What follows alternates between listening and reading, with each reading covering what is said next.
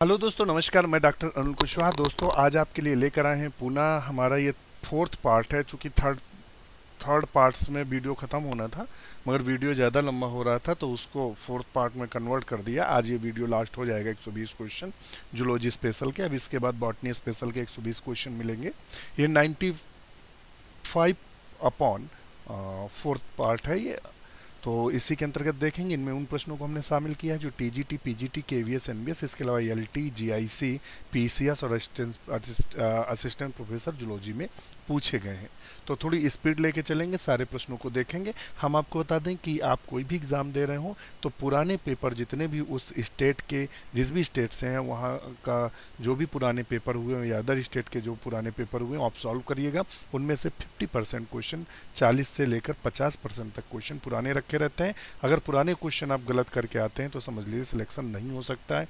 और ये बार बार चाहे आप पढ़ें कम, परंतु जो क्वेश्चन हैं, उनको ज़्यादा सॉल्व करें, जिससे कन्फ्यूज़न दूर होगा। तो शुरू करते हैं आज का वीडियो उससे पहले रिक्वेस्ट चैनल को लाइक और सब्सक्राइब दोस्तों के साथ शेयर करना ना भूलें।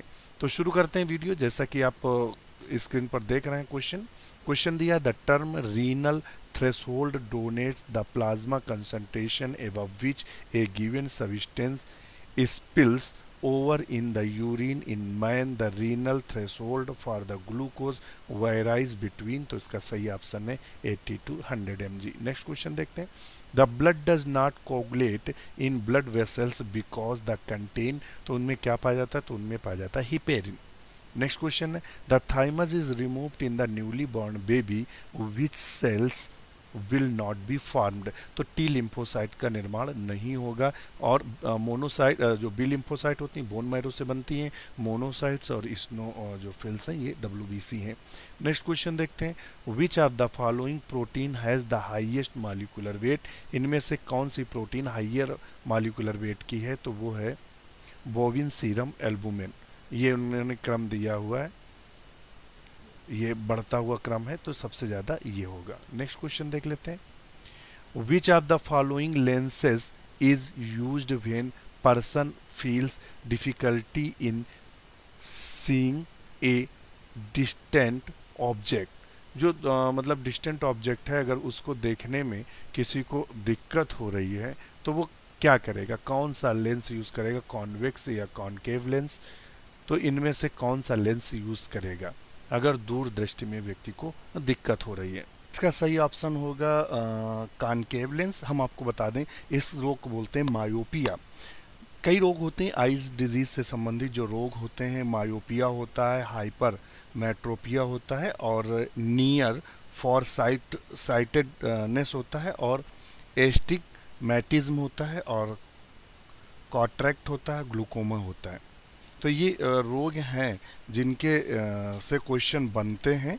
तो आपको बता दें, जो कॉन्ट्रैक्ट होता है, मोतियाबिंद कहते हैं तो मायोपिया क्या होता है? अब हम वो भी आपको चर्चा बता दें कि मायोपिया में होता क्या है कि जो नेत्र गोलक होता है, वो बड़ा हो जाता है। जो नेत्र गोलक बड़ा हो जाता है, तब रेटिना पीछे पहुँच जाता है, परंतु इमेज अपनी पुरानी जगह पर ही बनती है। फिर से सुनिएगा, जो नेत्र गोलक होता है, मान लेते हैं, एक तो थोड़ा जल्दी में है हम, मान लेते हैं ये ये लेंस है, और ये नेत्रगोलक है नेत्रगोलक के मान लेते हैं ये, यहाँ इमेज बनती है, और ये नेत्रगोलक किसी कारण बस बड़ा हो जाता है, मगर इमेज यहीं बनती है, इमेज यहीं बनती है। तो उस दृष्टि में हमें क्या होता है? नियर साइटेंडनेस होता है, निकट दृष्टि दोष हो जाता है। ध्यान रखिएगा।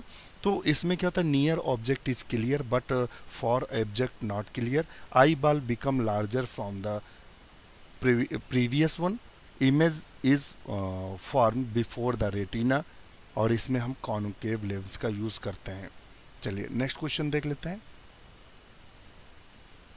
ये। नेक्स्ट क्वेश्चन है vasopressin is produced in the तो वैसोप्रेसिन कहाँ से निकलता है? इसे एडीएच हार्मोन बोलते हैं एंटी डायूरेटिक हार्मोन बोलते हैं सिक्रीटेड द न्यूरोहाइपोफाइसिस किससे निकलता है? न्यूरोहाइपोफाइसिस से निकलता है न्यूरोहाइपो और ये ब्लड प्रेशर भी रेगुलेट करता है, ध्यान रखिएगा। और इसके अलावा ये टॉयलेट को भी रेगुलेट करता है। Organs of equilibrium in man's ear are तो बताइएगा organs of equilibrium in mine ears are three semicircular canal. बताइएगा, क्या होता है? थ्री सेमी सर्कुलर कैनाल तो सही है। और नेक्स्ट क्वेश्चन देख लेते हैं। The wall of the artery is thicker than the wall of vein because the artery has तो आर्टरी में हरदम क्या होता है? आर्टरी में हरदम जो ब्लड चलता है ऑक्सीजनेटेड चलता है। केवल एक को छोड़कर किसको? पल्मोनरी आर्टरी में केवल डीऑक्सीजनेटेड ब्लड चलता है और ये थिकर होती है, ध्यान रखिएगा। तो इसका ऑप्शन बी सही है a thicker layer of smooth muscles ये ध्यान रखिएगा। A thicker layer of smooth muscle next question है the occurrence of reflex action requires the existence of an intact the occurrence of reflex action required the existence of an intact तो cerebellum medulla oblongata optic lobe spinal cord तो इसका सही option होगा spinal cord next question है। Spinal cord में जो संबंधित होता है, पाँच प्रकार के सेल्स पाई जाती हैं। कौन कौन की cervical thorax thorax lumbar sacrum और कोसिक्स ये पाँच प्रकार की सेल्स इसमें देखने को मिलती हैं। और इनकी संख्या कितनी होती है? आठ, बारह, पाँच पाँच, एक। जबकि आपके रैबिट में होती है, सैंतीस होती है, सैंतीस पेयर्स होती है। और आपके जो उसमें फ्रॉग में होती हैं, वो टोटल उन्नीस या बीस होती है। Erythro erythroblastosis fetalis afflicts infants born of parent dissimilar for one particular genes parent similar for the genes both parents the one old one young parent नहीं इसका सही आंसर होगा ए अब आता है embryology dentine of the teeth are developed from dentine of teeth ये बहुत अच्छे क्वेश्चन है। आप देखिएगा, बिल्कुल हु बहू क्वेश्चन यही क्वेश्चन आप गलत करके रखते हैं क्योंकि हमने अच्छे क्वेश्चन निकाल के रखे हैं आपके लिए। Dentine of the teeth are developed from तो किससे डेवलप होती है? डेंटाइन ऑफ़ टीथ तो एक्टोडर्म मीजोडर्म बोथ से। नेक्स्ट क्वेश्चन है माइट्रोकाइंडिया इन स्पर्मिस तो फाउंड इन हेड में नहीं पाई जाती, वो एक्रोसोम होता है Golgi complex found in acrosome नहीं found in its head found in the acrosome found in middle piece तो कहाँ पाया जाता है? मिडल माइट्रोकैंडिया ज़्यादा क्यों पाए जाते हैं? क्योंकि इस पर उनको लंबी दूरी तय करनी पड़ती है, इसलिए मूवमेंट ज़्यादा करना पड़ता है। Gastrula in frog is formed by तो किसके द्वारा बनता है? तो वो बनता है all of the three next question है which one of the following fetal membrane appears first during the development of chick तो वो कब बनती है? बताएगा which of the following fetal membrane appear first during the development of chick तो इसका answer क्या होगा? होगा yolk sac extra embryonic membrane originate first ये क्वेश्चन पूछा गया है आपके पीजीटी टीजीटी में। The formation of central nervous system become visual in chick embryo after incubation कितने इंक्यूबेशन के बाद डेवलप होता है? तो 24 the three brain division increase in five telencephalon diencephalon mesencephalon metencephalon and myelencephalon in the thirty six और incubation तो option तो इसका भी सही होना चाहिए हिसाब से। अब बताइएगा इसको क्या सही होगा। नेक्स्ट क्वेश्चन है। The correct sequence of developmental stage in the life history of Aurelia Aurelia की लाइफ हिस्ट्री का सही क्रम क्या है? तो सही क्रम दिया हुआ है गैस्ट्रुला गैस्ट्रुला के बाद प्लाइनुला प्लाइनुला के बाद स्काइफ स्काइफोस्टोमा फिर हाइड्रेटुबा और इफायरा इन्होंने ये दिया हुआ है सही क्रम. नेक्स्ट क्वेश्चन है इकोलॉजी की बात कर रहे हैं। In which the following national park of lion is being conserved तो बताइएगा तो वो कौन सा है? गिर गुजरात में पाया जाता है। Fifth June is celebrate because it is तो फिफ्थ जून को कैसे करते हैं? पोलियो वर्ल्ड इन्वायरमेंट डे या वर्ल्ड हेल्थ ऑर्गेनाइजेशन डे तो किसमें करते हैं?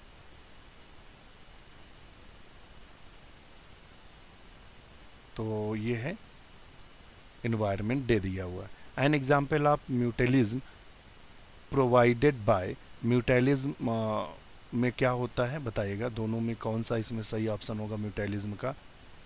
सैकुलाइना and crab liner fluke and snail Entamoeba histolytica and man sea anemone and crab तो इसका आंसर होगा D sea anemone and crab next question है which one of the following silk worm is reared on Arjuna Arjuna में rarely जो पाया जाता है, वो कौन सा है? तो बताइएगा। वो कौन सा है? ए एंथ्री एंथ्रिया माइलाइटा नेक्स्ट क्वेश्चन है. पेब्राइन इज़ पेब्राइन इज़ तो बताइएगा पेब्राइन एक प्रकार की डिज़ीज़ है और silk worm cause the fungi kind infection disease silk worm fungi तो ऑप्शन यही सही है, एक प्रकार का रोग है। नेक्स्ट क्वेश्चन है. Flat and laterally compressed tail in the characteristic feature laterally and compressed tail तो ये सी स्नैक में देखने को मिलेगी, जिससे वो आराम से तैर सके। नेक्स्ट क्वेश्चन है the silk thread is obtain from silk worm तो किससे प्राप्त किया जाता है? तो सब जानते हैं, कोकून से प्राप्त किया जाता है। नेक्स्ट क्वेश्चन है लाक इज़ देखिए आपने देखा होगा, जो इंसेक्ट है, ये आपके सिलेबस में है टी टीजीपीटीजी में, ये क्वेश्चन वही हैं जो टी टीजीटी पीजीटी पीसीएस आदि में आए हुए हैं। Lac is the substance secreted from body of an insect bark of the power tree और dried powder of flower a kind of stone तो ऑप्शन ए सही है। नेक्स्ट क्वेश्चन है मैच लिस्ट फ़र्स्ट और सेकेंड को match कराना है। तो लाक इंसेक्ट लाक को करता है सिल्क सिल्क वर्म करता है। आंट जो है, वो फार्मिक एसिड छोड़ती है। और ब्लिस्टर बीटल तो ये क्रम है, आप इसको मिला लीजिएगा। तो ऑप्शन इसका बी सही आएगा। नेक्स्ट क्वेश्चन है termites digest cellulose with the help of तो वो ट्राइको निम्फा की उपस्थित के कारण वो सेलुलोज को डाइजेस्ट कर पाता है। Nobel prize for deciphering the language of bees was awarded to. तो वो कौन थे? तो वो के वी फ्रिस थे या डार्विन और खुराना। तो वो उसमें ऑप्शन डी सही है, फ्रिस। वैगल डांस की खोज की थी। Karl von Frisch. ये ऑप्शन सही है। नोबेल प्राइज मिला था। इसी के साथ 120 क्वेश्चन पूरे होते हैं। आप वीडियो को देखेगा आज इतने क्वेश्चन बचे थे और थोड़ा मैं बहुत जल्दी में हूँ। तो इसलिए वीडियो को ज़्यादा डिस्क्रिप्शन आपको नहीं मिला। आप इनको देखिएगा। ये वो क्वेश्चन है जो इससे पहले एग्ज़ाम में पूछे गए आप पुराने क्वेश्चन अगर हल करते हैं, मैं दावा करता हूँ कि आपका चयन कोई रोक नहीं सकता है। इसी के साथ नमस्कार।